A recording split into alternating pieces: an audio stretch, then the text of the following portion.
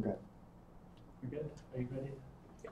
All right, it's my pleasure to introduce Jonathan Gruber from University of York, and he's talking today about minimal tilting complexes and highest weight categories. Uh, thank you. It's a pleasure to speak here. Um, so, yeah, I want to talk about a concept that is called highest weight categories, which is sort of omnipresent in Lie theoretic representation theory. So, examples of highest weight categories like category O for complex simple Lie algebra or Kac-Moody algebra or the rational representations of non-algebraic groups or the representations of quantum groups at groups of unity. And so, uh, yeah, I mean, this is a useful concept, and I want to talk about one specific tool that you can use for studying objects in highest weight categories, and that's the minimal tilting complexes from the title. And since this is the the first uh, out of two talks that I'll be giving, um, today I'm sort of introducing the concept and giving you some, some basic results about minimal tilting complexes, and next time we'll see how we can apply them in a concrete setting to study the module structure of the category of rational representations of an algebra. Okay, I'll start with the basics, and I'll start by telling you what a highest weight category is. So let's see.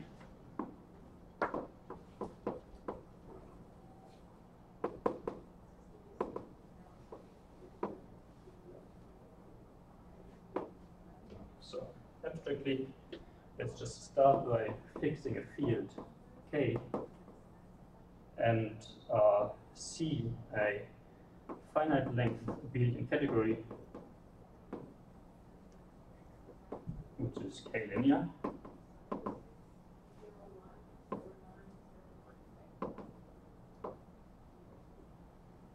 Uh, and by that, I mean that all the homomorphism spaces in the category are vector spaces um, over this field, and the composition is bilinear. Uh, finite length means that in this abelian category, every object has a finite uh, Jordan-Hölder series. Okay? Um, and now we make an additional crucial assumption in order to talk about these highest weight categories, and that is that um, we suppose uh, that there's a partially ordered set uh, that exists uh, gamma necessary set um, which which labels the the irreducible objects of a category. So, and a map from the set lambda into the objects of the category. Um, say lambda goes to add lambda such that the set L lambda or lambda and lambda is precisely a set of representatives for the simple objects in the category up to isomorphism. Representatives.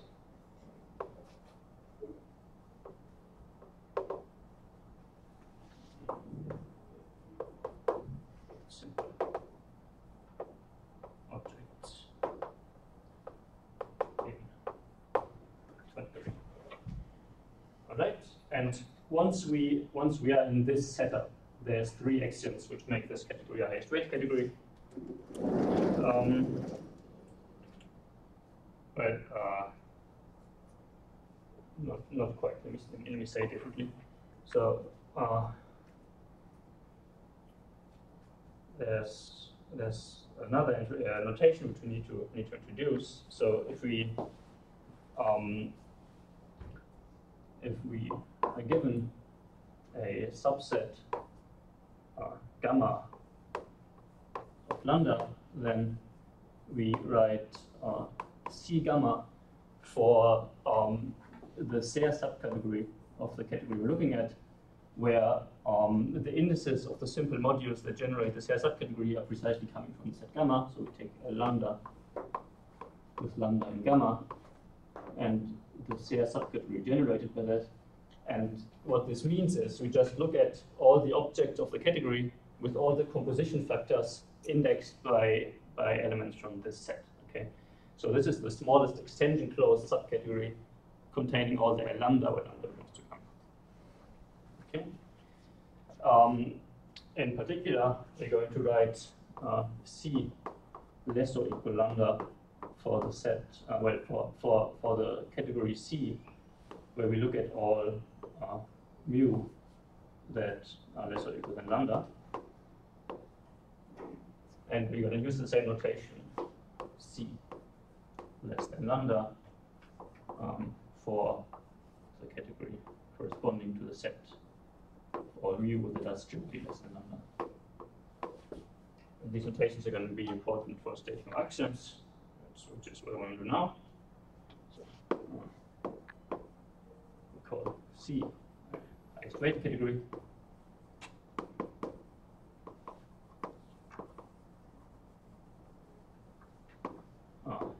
If um, first we ask that uh, for all lambda, um, lambda uh, has a projective cover delta lambda L lambda and injective hull.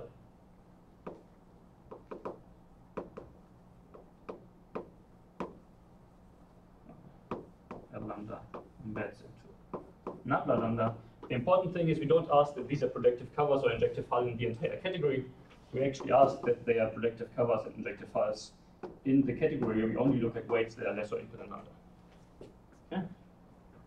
So uh, this is the starting condition, and then of these data, we ask some we ask some additional conditions, namely, um, first of all, and this is more a condition on the on the weight poset. Um, we we ask that um, for all lambda, um, the set of all mu in lambda which are below this, this given uh, element lambda. So this equal lambda is finite.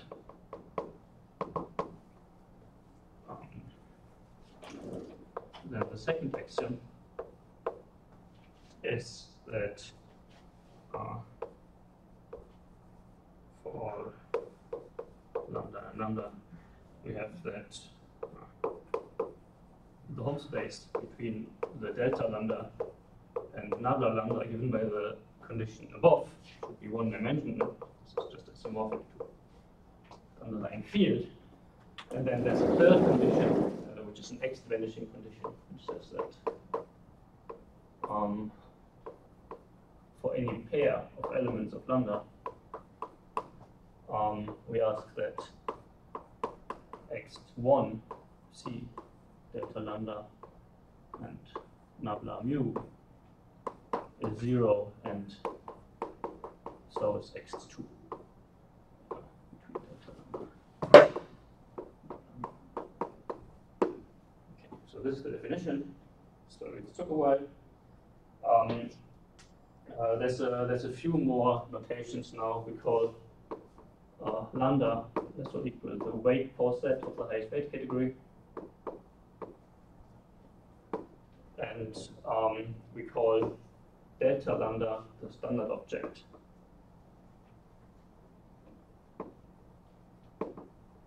And nabla lambda the co-standard object.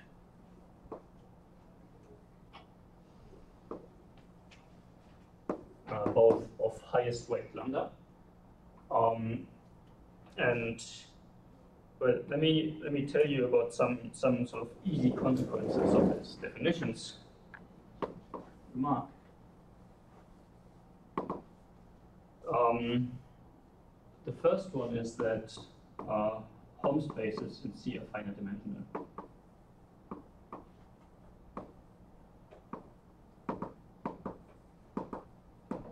Um, the reason for that is that if you just look at the Hom space between two simple modules, um, if the two simple modules have different labels, the Hom space can be zero dimensional. If uh, the labels are the same, then the Hom space between the simples is going to embed into this Hom space between delta lambda and nabla lambda, which is one dimensional. Then you can argue by induction on the length of composition series. Okay. Um, okay. So uh, another thing is that um, basically you have a short exact sequence 0, q, lambda, delta lambda, L lambda to 0. And um, if you look at this quotient, then this here is not the submodule, this is going to belong to the subcategory C strictly less than lambda. So if you look at the structure of a standard module, it's going to have L lambda appearing at the top, and then everything else is going to be strictly below with respect to the partial order. Um, which is the reason why these modules are sort of drawn as a triangle that tells you that sort of the, the important thing is sitting at the top, and then there's other, other stuff underneath. And the costandard module is drawn the other way around because L lambda is sitting at the bottom, then you have more things at the top. Okay. Um,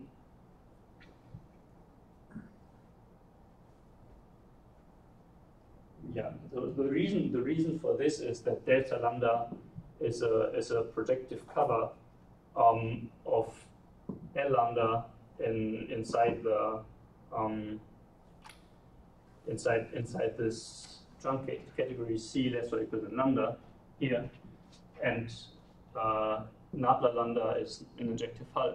If you look at a Hom space between something and an injective hull, is going to count the composition multiplicities. Um, so basically, this condition here tells you the thing that I've just that I've just written down.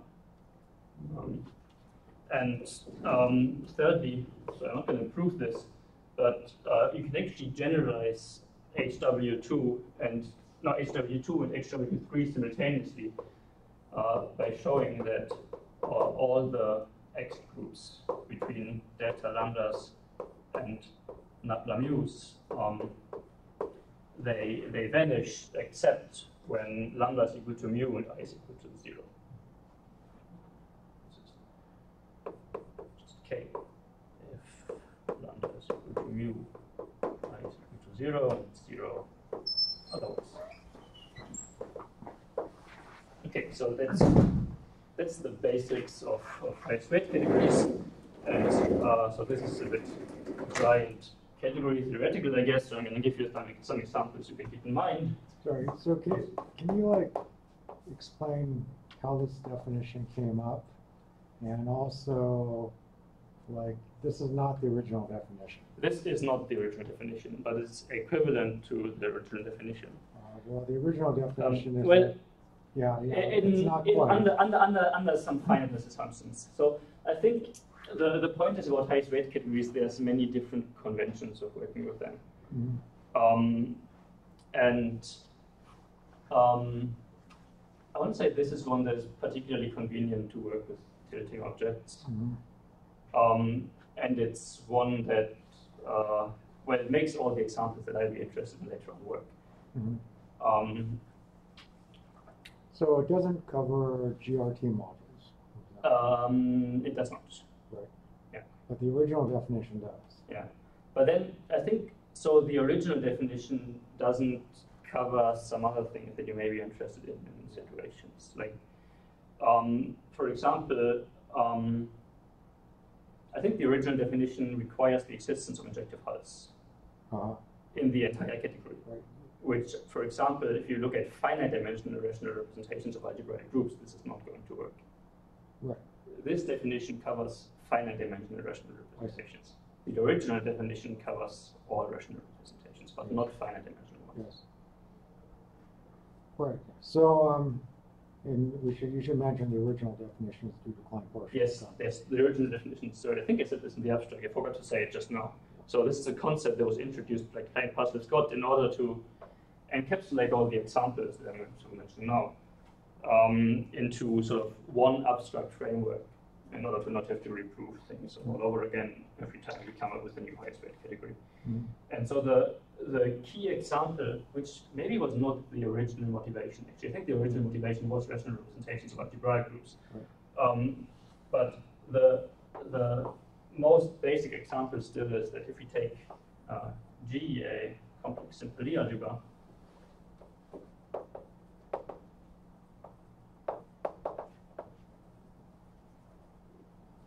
um, and in there we fix a Borel subalgebra and a Cartan subalgebra.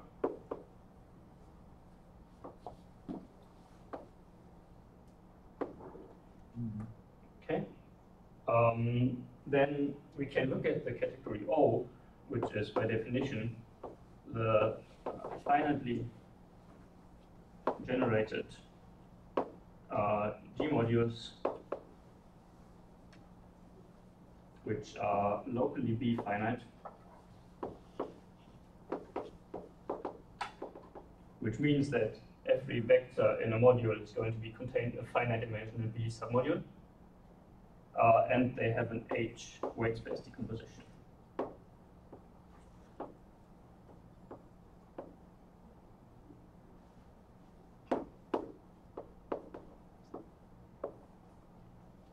Okay, so this is a very sort of classical category to study representations of, of Lie algebras. And, um, and um, when you're looking at this category, then you can define for all lambda n uh, in the dual of the Cartan subalgebra, uh, there is a Verma module delta lambda and dual Verma module nabla lambda.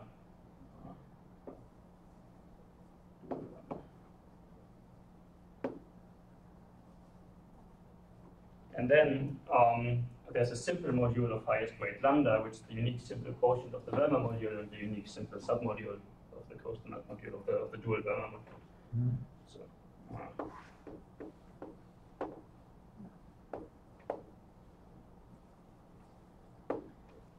and um, so one might be tempted to to say that O is the highest weight category, which in principle is, except there's one thing that doesn't quite work in terms of the axiom that I wrote down, uh, and that's this condition about finiteness of the partial order. So there is a natural partial order uh, on on this set by the positive roots coming from from B, but it doesn't. It's not going to have this finiteness condition. And so in order to get this finiteness condition, we need to sort of apply a small trick, and we need to go down to the blocks of category O, which are going to have finite vector sets.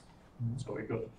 Um, so in order to do this, uh, we need a little bit more notation, and I, I, I'm going through this because this is going to be a running example, and I'm going to show you some uh, some examples of the of the key concepts of this talk in this setting later. Um, so uh, let's also say that W is the Weyl group of this Lie algebra, and um, phi plus the set of positive roots. uh, with respect to the grades of algebra B. And um, rho is one half times the sum for the positive roots.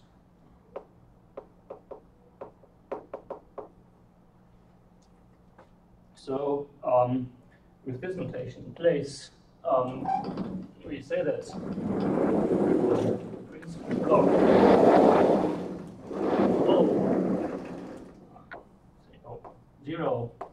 is the Serre subcategory that is generated by all L of W of rho minus rho on W. W. Uh, and this is the principal block. So as before, the Serre subcategory means you take the smallest extension closed subcategory that contains all of these simple modules. And the thing that we do here is basically we start from the weight zero, which you get if you put W equal to one, just get rho minus rho. And then you act on this weight by the so-called dot action, which is where you shift the origin down to the point minus rho. And then it's just, just the group action with the origin centered at minus rho instead of centered at zero. Okay. Uh, so these are essentially all just simple modules whose highest weights have the same W orbit over another dot action. Um, and so yes, when I'm telling you this, the ten, the, I'm telling you this because no, this is uh, highest weight category.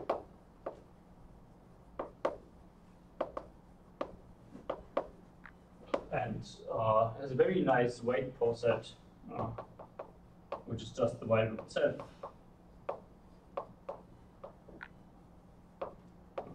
w less or equal, and uh, less or equal is the Bruhat order.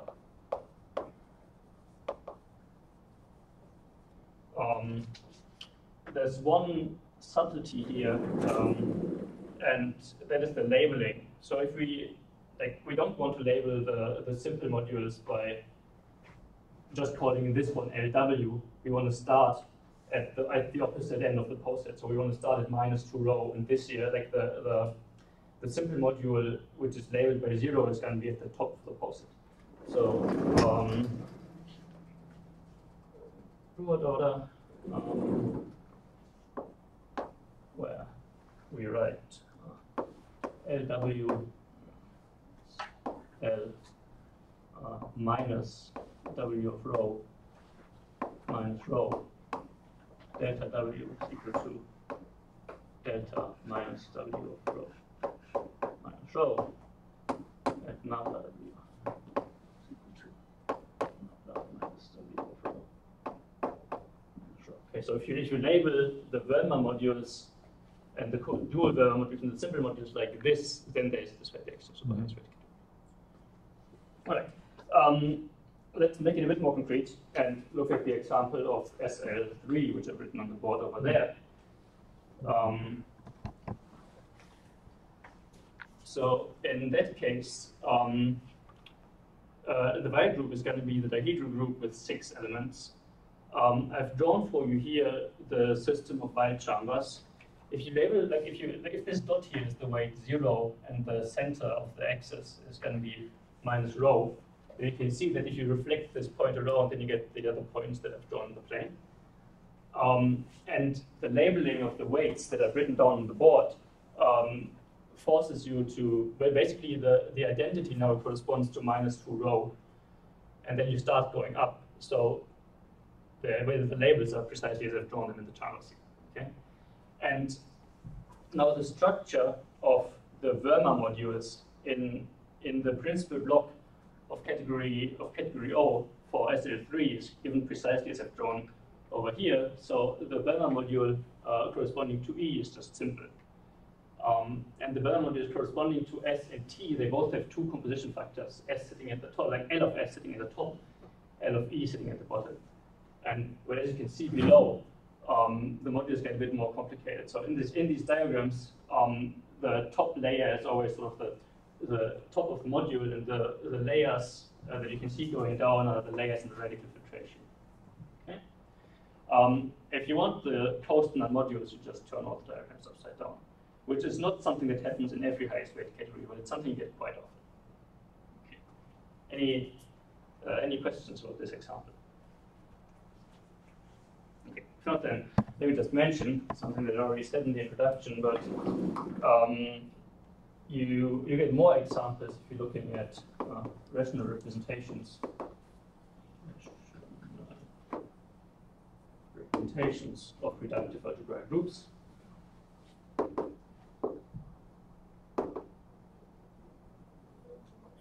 Um, or if you look at uh, representations of Kac-Moody algebras.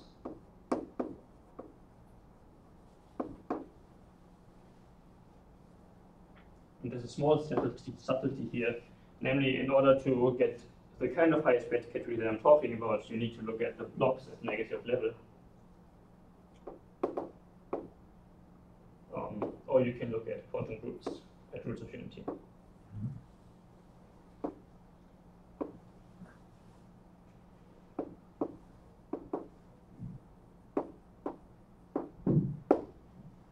Okay, so uh, all the basics I want to talk about uh, for highest weight categories.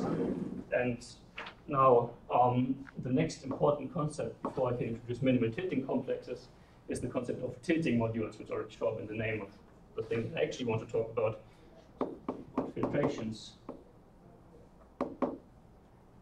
and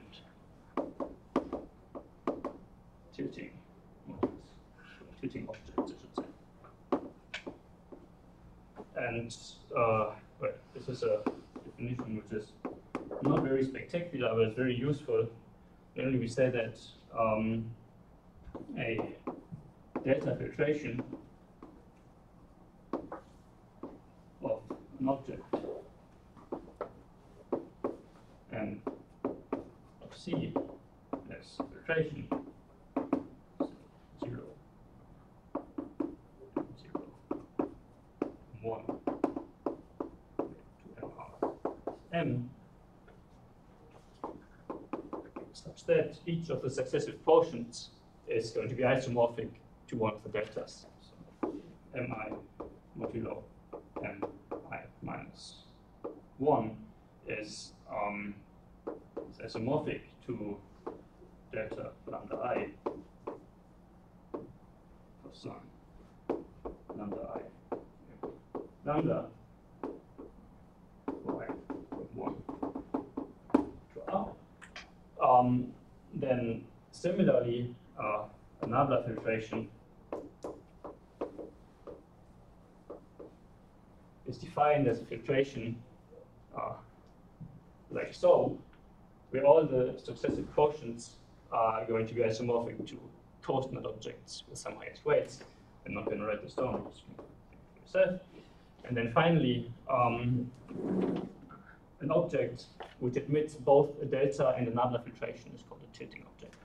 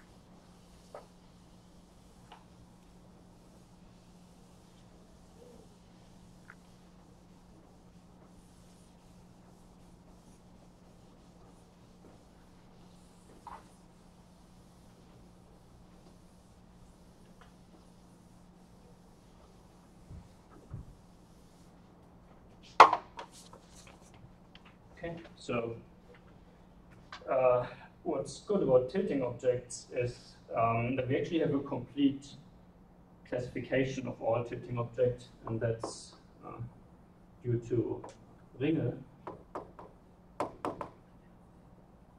And uh, he tells us that um, for lambda, um, there's a unique indecomposable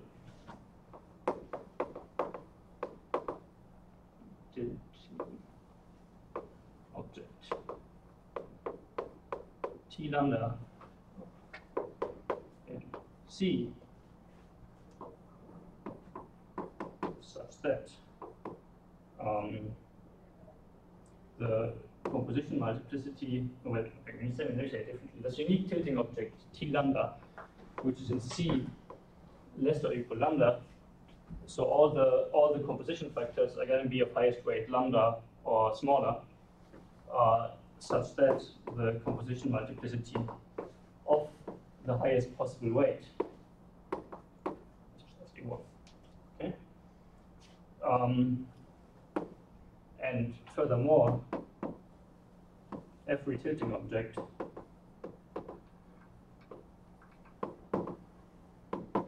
is of the form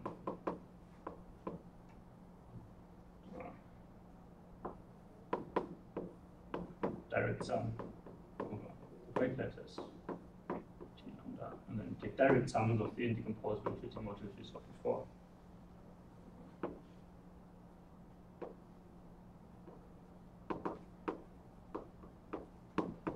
Okay, so this gives you a complete classification of all the tilting objects because we know that every tilting object is going to be some finite direct sum of indecomposables and all the indecomposables look as described by Ringel and Steele. Okay? So they, they're classified by the highest weight. And so in, in principle, to a set of distinguished objects of the category, the simples, the standards, and co-standards, you can now add a fourth class of distinguished objects which can play an important role. These are the indecomposable. Um, okay, um, and uh, well, I want to I want to give you some examples, an idea of what to think about. I mean, I, I gave you I gave you an existence statement. So now in the framework of the example we were looking at earlier, I can tell you what the tilting modules are going to look like. Um, and well, the first one is quite easy. So we've seen earlier that um, in category O, 0 for g equals uh, 3 of C, um, the Verma module um, is the same as the simple module. Mm -hmm. And I, I, told you that the, the dual Verma module is the same, but just turned around. So that it's the same as E, okay? Um, but now that means that the simple module is both a delta filtration and a nabla filtration, so it's actually the same as the tilting module. Mm -hmm. So this is easy. Um, for uh, for the simple reflections, it's also fairly easy. Um, maybe I claim that um, they are basically a non-split extension of delta S by delta E.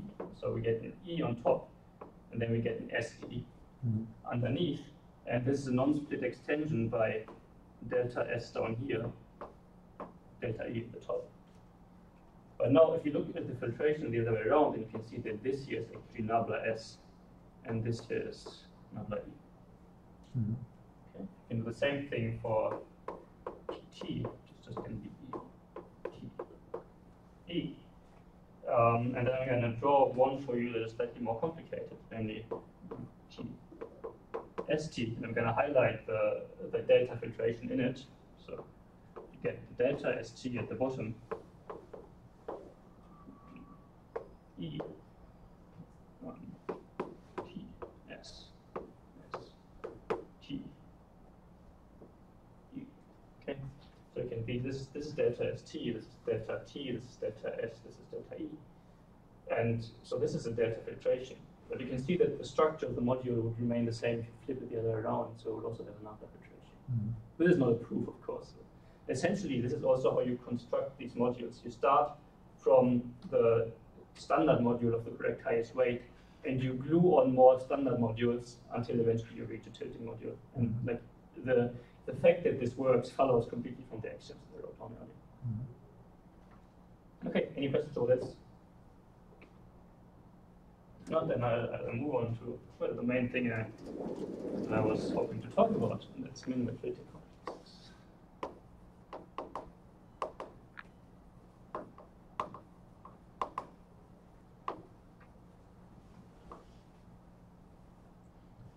Um, and um, well, before before I tell you what minimal tilting complexes are, I need to point out one very important additional property of, uh, of tilting of objects in highest weight categories.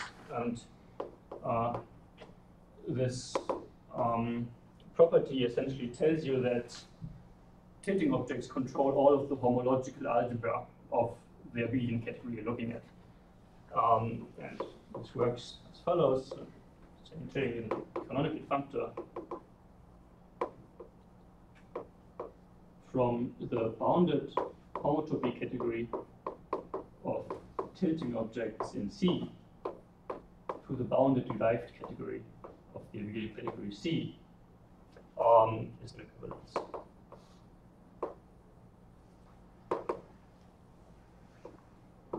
of triangulated categories.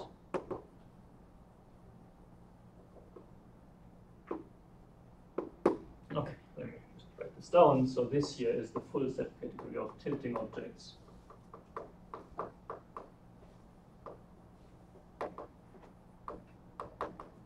C this here is the bounded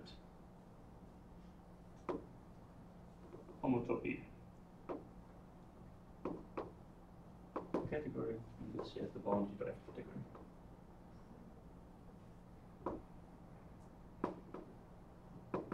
So um, why am I telling you that this encapsulates all the homological algebra of the category? Well, essentially, um, the derived category encapsulates all the homological algebra because all the Ext groups are going to arise as Hom spaces inside this derived category. And now um, the um, this homotopy category is basically the homotopy category of an additive category, which is fairly easy to understand, at least in the sense that we know all the indecomposable objects because they're classified by this theorem. Okay? Um, and but in a way that tells you that tilting objects provide a replacement for projectives in this category. Because in the highest weight category, you do not automatically have projectives. But in a category where you have projectives, the same statement is true if you replace tilting by projective, at least if you change the boundedness conditions a little bit. Okay. Um, uh, one more thing, the reason why this is true is essentially that all the higher Ext groups between tilting objects vanish. And that follows from the Ext vanishing statement. So I told you earlier that all higher Ext between standard and co-standard vanishes.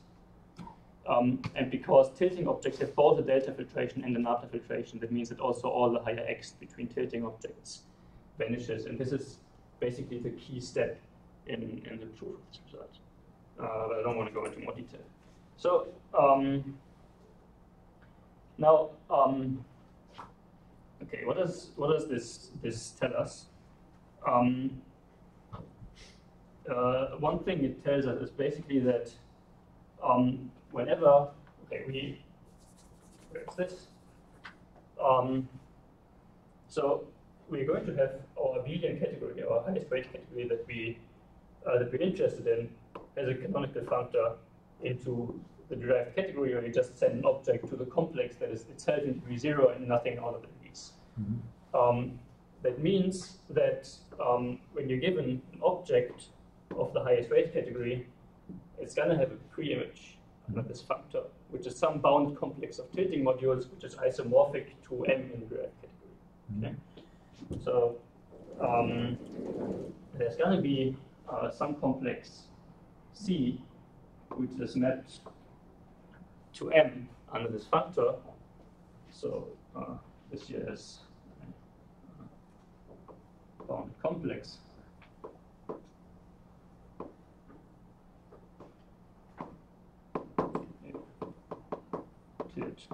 C uh, such that um, C is isomorphic to M in the derived category C. Mm -hmm. And maybe if you're not so comfortable with derived categories, let me just tell you that this condition, this isomorphism, is actually equivalent to the requirement that the cohomology groups of this complex C, so if you take the complex, you take kernel modulo, modulo image of the differential, uh, that this should just give you m in degree 0 and 0 everywhere else.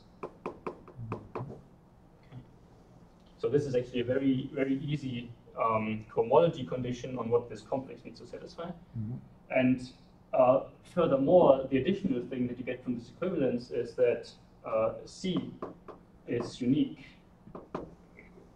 up to homotopy equivalence.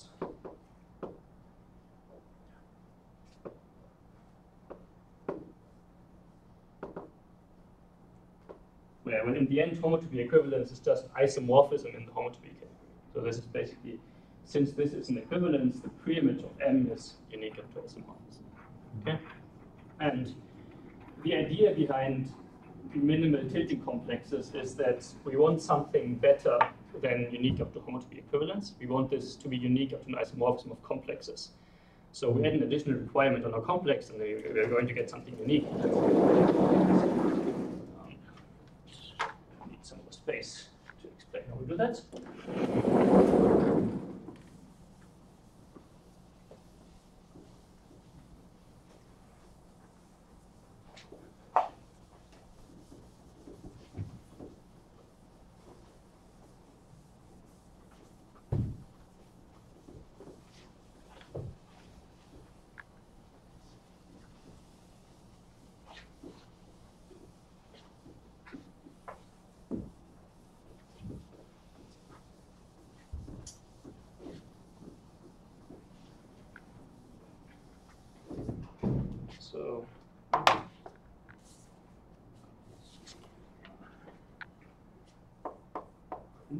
Sorry, Jonathan, can you push the, the bottom board up?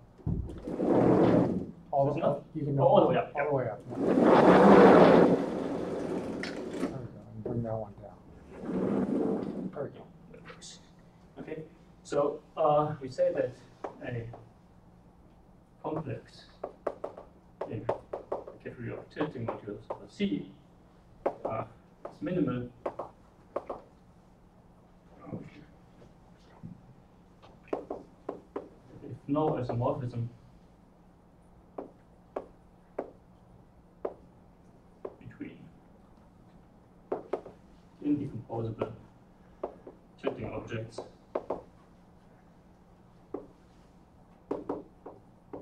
factors through any differential.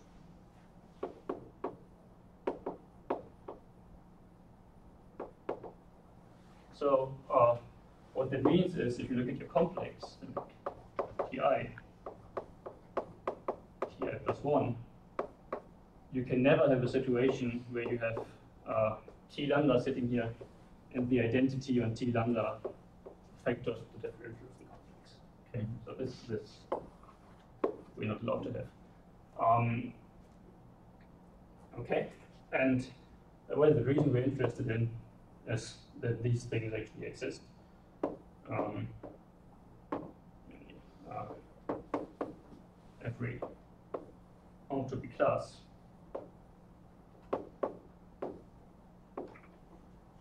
of bound complexes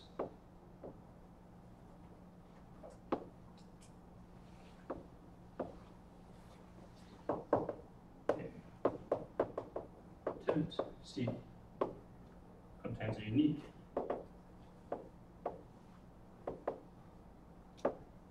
minimal complex.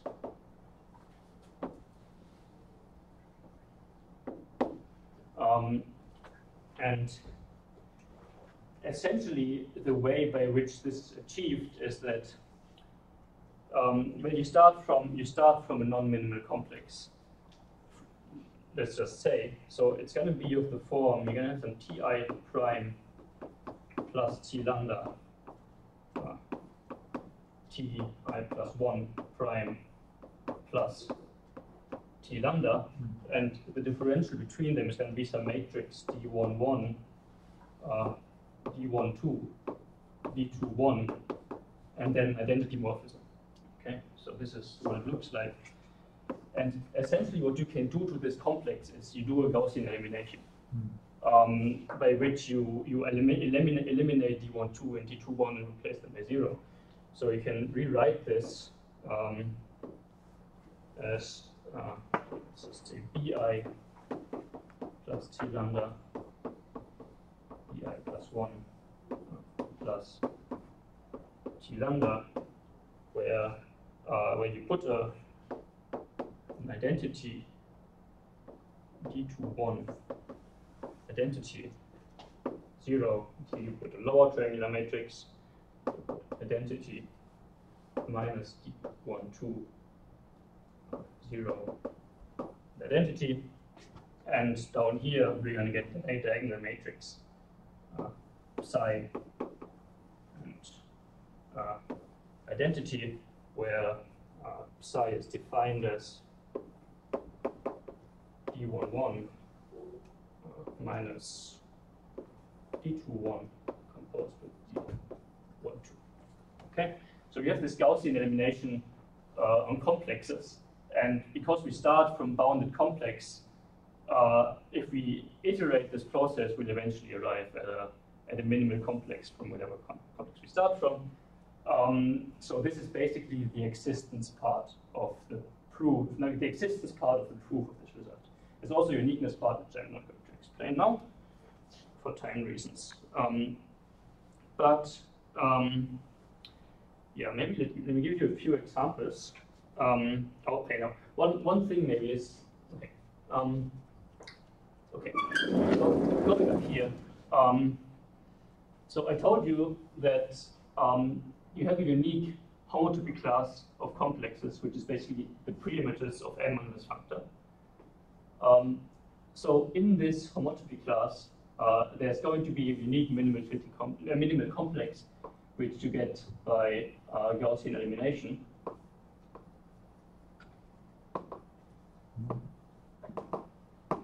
And this is what we call the minimal tilting complex of M, and we write it C min.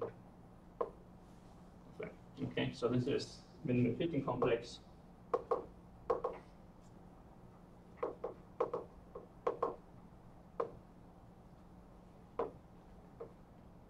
Um, this is the unique uh, up to isomorphism uh, bounded minimal complex.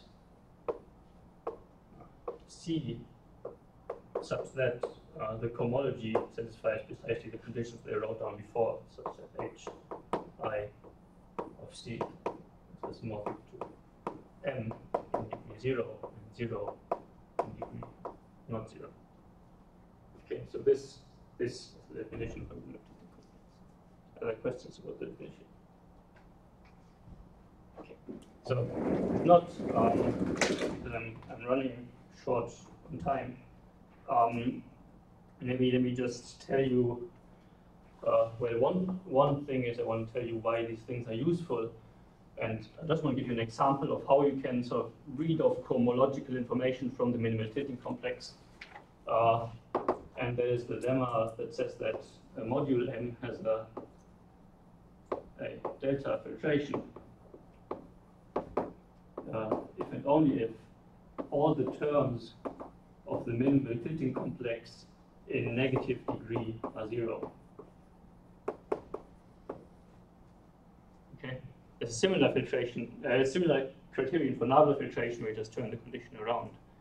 And so the, the complex, how, how far the complex goes into the negative or positive so it measures how far a module is away from having a delta filtration or another filtration. Um, and then uh, finally, if you're if you're in concrete examples like sort of category O, it's actually often possible to explicitly compute the minimal tilting complexes, and this is the last uh, thing that I want to talk about, uh, namely uh, uh, O0, um, we can um, well, we can look at the minimal tilting complex uh, of a uh, say a Verma module, um, and where we might be interested in the terms of this complex. Okay, so we, we say we look at seam like the, the term in degree i, and we want to know uh, which tilting module it is. So we want to know how it decomposes the direct sum of indecomposable tilting modules. So let's just ask about the multiplicity of an indecomposable tilting module Ty in there.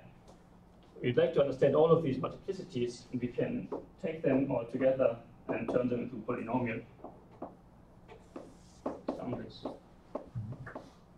of all integers. Um, and now, um, this thing is something we can actually compute. Um, namely it's actually, uh, well, it's an inverse Kazhdan-Lusztig polynomial.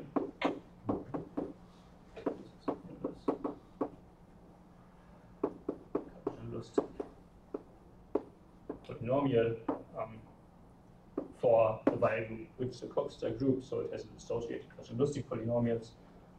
Um, and we can also compute this for the minimal tilting complexes of the simples. So if you write down the same polynomial but you replace um, the Verma module by a simple module, so you take minimal tilting complex of Lx, uh, I, the multiplicity of the tilting module Ty as a direct summand, multiply this with e to the i, then um, this is going to be the sum of all elements of the Weyl group. Uh, you take h, z, x bar h z y, um, where, as before, this is an inverse Kazhdan-Lusztig polynomial. This here is a Kazhdan-Lusztig polynomial and um, bar is the ring homomorphism from the Laurent polynomial ring uh, to itself, which stands uh, v to the inverse. Okay. So in concrete examples like category O, we can explicitly compute this, and we can also explicitly compute this for quantum groups or for Kac-Moody algebras. Uh, for reductive algebraic groups and positive characteristics, this is an open problem. Um, yes, and I think I'll stop here.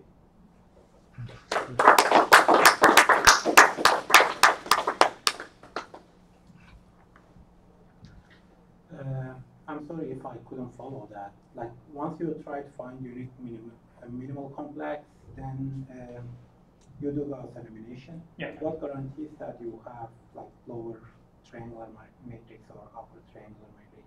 I mean, is there a possibility that like rows are uh, not independent? Um, in in the proof, you mean? Yeah, So this is basically okay. Sorry, I think I wasn't quite clear here. Um, what the idea is that um, if we have a non-minimal complex, Mhm. it's it's going to, so the, the complex in the top row is going to be isomorphic to the complex in the bottom row because these triangular matrices are invertible. Okay. Okay. But now the differentials, like the, the cross terms in the differential between the bi's and the t lambdas are zero, which means that the complex in the bottom row, it splits as a direct sum of a complex that looks like, I mean, bi, bi plus one, something, and a complex where you have zero, t lambda, t lambda, zero.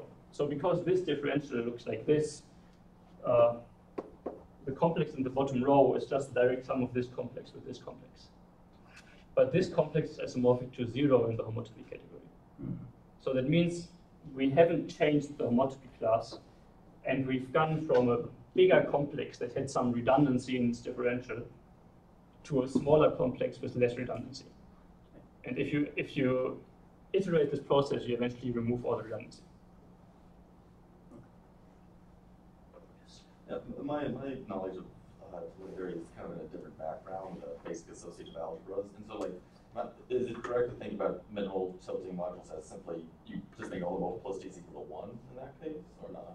Um, I, Like, in their direct sum decomposition of T lambda, uh, M lambda times, because you seem like you're just peeling off repeated factors of the T lambdas. Um, so uh,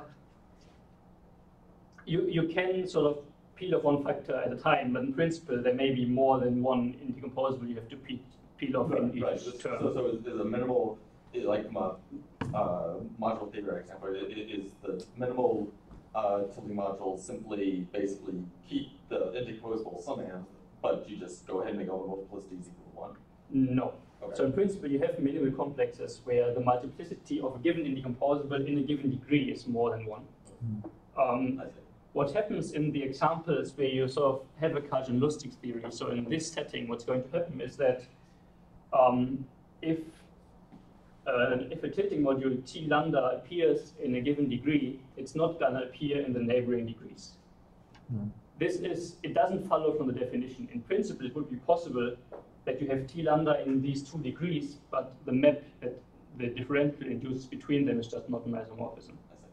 Um, but the like Kazhdan-Lusztig polynomials have very nice parity properties, and they tell you that if say ty shows up in a given even degree, then it can only ever show up in even degrees, Mhm.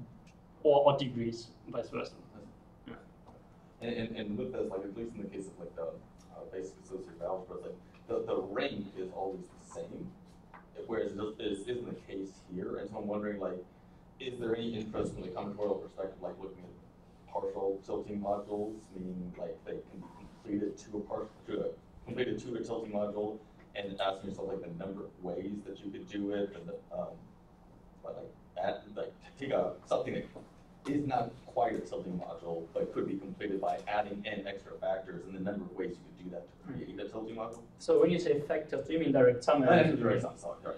So well, because like direct sum, adding direct summands can never give you a tilting module. Basically, by classification result, everything everything that is a tilting module is a direct sum of indecomposable tilting modules. Okay. So I mean, basically, I guess it is a reasonable question to ask how you can build the tilting modules out of the of the standard modules. So, like, given a module with the delta filtration, how much do you need to add in order to get a tilting module? Um, in the very like in the completely abstract setting, I think this is too hard to answer. I think in, the, in like if you're giving yourself some concrete examples, is a reasonable question.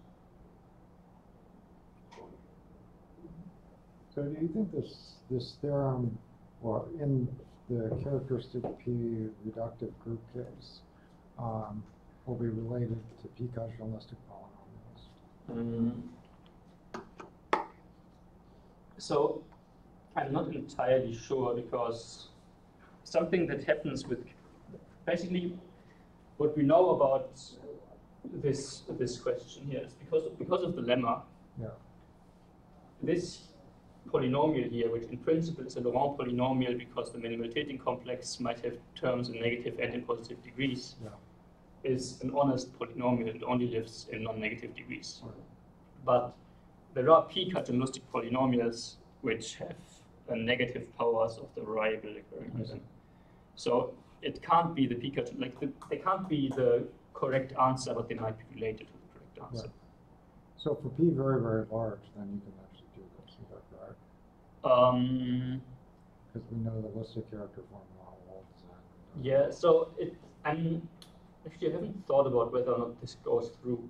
The the way this this is proven is you you pass to the Ringel dual of the highest weight category, Okay, um, and then you can identify these multiplicities with dimensions of Ext groups. right, Now the Ext groups between co-standard objects and simple objects. Mhm. If you do this in the case of category O, the, the principal block, the Ringel dual, is just category O again.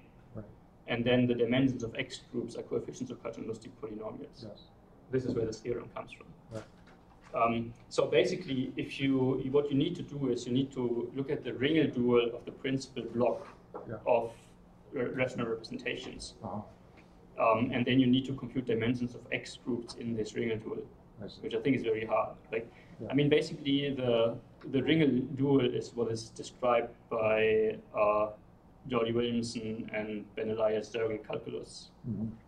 Um, so basically, you need to use Soergel calculus, like like the.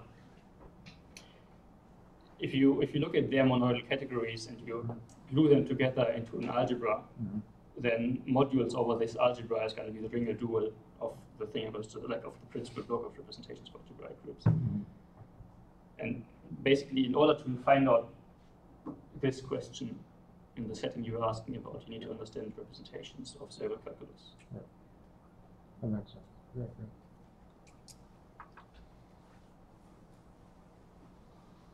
Other questions? If not, let's thank the speaker.